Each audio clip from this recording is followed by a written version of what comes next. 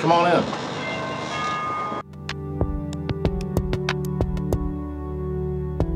That looks familiar. Where'd you get that? This artist is Renee from Jacksonville, Florida, and she has a larger one about 50 feet at the Hyatt Regency downtown San Antonio Riverwalk.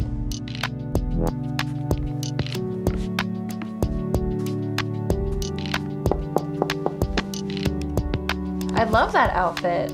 What do you call that? My evening style.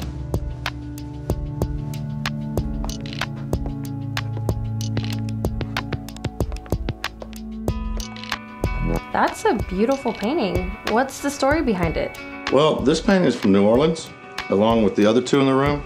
And this one's a blue dog, and this one is from uh, George Rodrigue. Unfortunately, he passed away a couple years ago, but that is in memory of Katrina.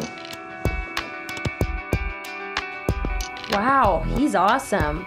Who did this? It's the same artist that did the bust of the lady, and I sent a computer-generated graphic to her, and she made me the man. And the, that one is named Jaeger, and this one's named Monet. Thank you for the water. You're welcome. What's your preferred drink on a night out? I like whiskey. Belle Meade is one of my favorites. It's pretty smooth. So, Keith, what's the deal with these colorful boxes?